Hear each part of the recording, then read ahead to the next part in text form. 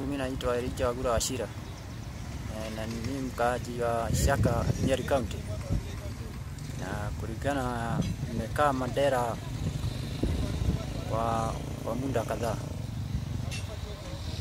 na kulingana hapa na Mandera, kukaa Mandera yani kuhata, kuhatarisha maisha. Ili nikaamua nije hapa kwa sababu niko na watoto na nikaona ni heri nikae hapa. eh, kwa sababu vita kulingana na vile tulipigwa, nikapoteza watu, watu wengi watu wengi. Sasa nikaona afadhali hapa huko. Eh, nilikaa miezi miezi kama nane.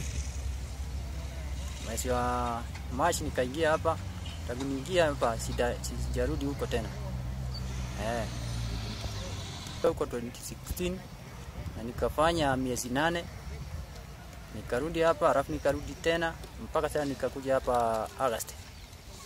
Eh, March March. Na huko kazi ilikuwa mzuri kwa sababu pesa ni mingi kuliko hapa, na huko nilikuwa napata kama elfu kumi elfu kumi na kitu per week. Eh, kwa sababu hakuna vita, maisha iko sawa. Ukilinganisha na Madera eh.